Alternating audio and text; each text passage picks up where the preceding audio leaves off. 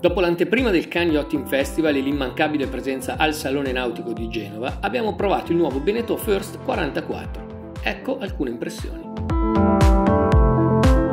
Firmato dal duo italiano Viscontini Argento, il nuovo First 44 è una barca ideale per la crociera sportiva, un cruiser racer da manuale e forse con qualcosa in più. Beneteau lo propone infatti in due versioni distinte, una più confortevole e impostata per la crociera, il First 44, ed una seconda più performante adatta alla regata, il First 44 Performance.